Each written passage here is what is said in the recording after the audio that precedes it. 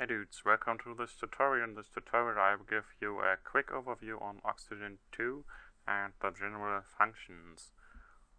So firstly, when you've opened up Oxygen 2, you should probably open up a model, which you can see here. I've already opened up a mesh building from Arma 1, from the Arma 1 sample models, but it doesn't really matter which model you open up right now, because I will just cover the general basics of Oxygen 2 and the interface.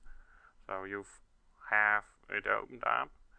Now you will check for all these boxes that they are about the same size as I have them here because yeah, in the standard settings all these boxes I think they are not very large and like tiny about like this so yeah for better overview you make them bigger then you can drag them around here so and neatly arrange them for your preferences.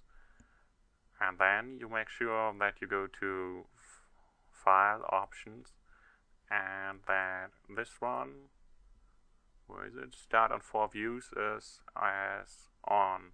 So this means you have all the four views directly on startup. This might be a default setting on the tools but I don't really remember once you've done that, you will go to Window and check that you have the resource library selected and the name properties and mass. So mass is later important for objects and tanks, vehicles and stuff for the geometry to work. So you need to enable it. It's in this small dialog right here. And the resource library is a pretty neat tool because you can directly select from here all the polygons that are assigned to a particular texture. So that's very handy. You can go to the current lot, to the current model, so you see all the textures and materials that are on the model itself, and you can directly check if something's missing. So you see there's some question marks right there. This is because the TGA files, they don't exist anymore. So what's done there is that the TGA files, they were converted to PAA, and thus there's the question mark.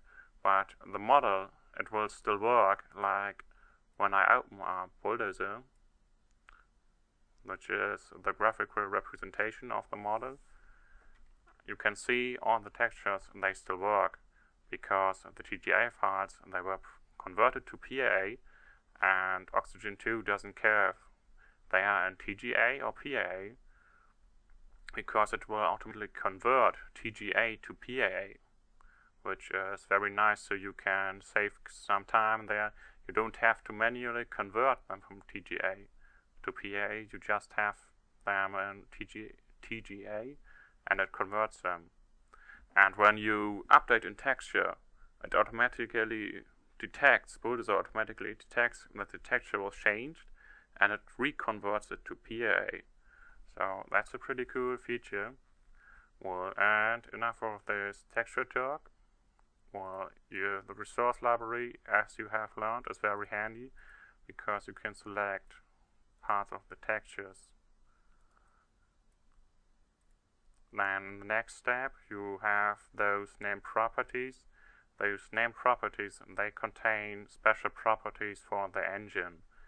You probably won't need them right now, but you can read them up on the BI wiki, but mostly you would probably copy those properties from existing sample models. Then you have up right here the several lots. This one contains first the resolution rods, like you see first resolution, second resolution, and the next resolutions. So the model loses detail over distance, like you have the sixth resolution lot, which has obviously a lot less polygons than the first, so it's not so heavy on performance they lose uh, very much detail as you can see right here. So that's basically what BI is doing for the models to work performantly.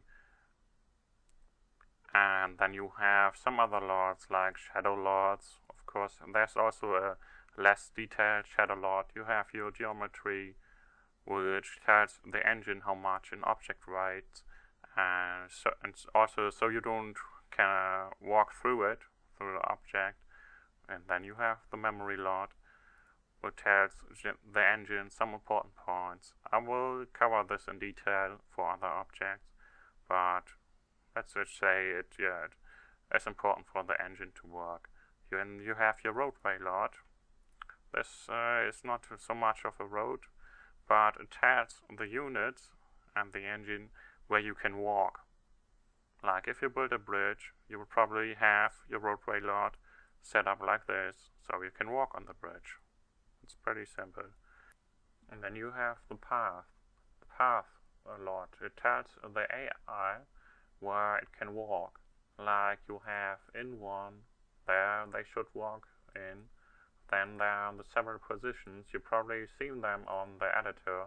Like when you open up a waypoint on a building, you can select to which position the unit should go to. So these positions, they are defined by these several points. And for the path to work, you are best to use an existing sample model and take a look at how these paths are done. But I will cover building configuration in another tutorial in detail. Now that we are gone through with the path node, there's still the view geometry lot.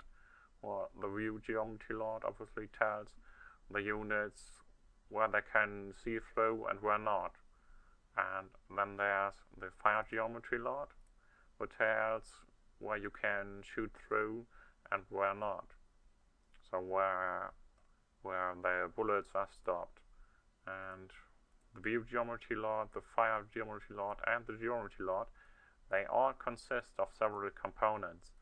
Like all of the single components, they have to be named. You can't just use a whole object, like in the resolution lot, and use it as a fire geometry lot because yeah, it will not work. You have to subdivide the whole model into several smaller objects. And all of those objects, they have to use sharp edges, which you can see on surfaces. They have to be sharp edges, and every component has to be named. And yeah, it has to be distinguished. But I will cover this fire geometry lot, geometry in detail in another tutorial and tell you guys how you create your own geometry, fire geometry and whatever lot. So this was like a first overview of the lots, the resource library and other settings. In the next video I will cover how you select different polygons and tell you about some of the modifiers of Oxygen 2. Then I will go into detail on unit modding object modding, and other stuff.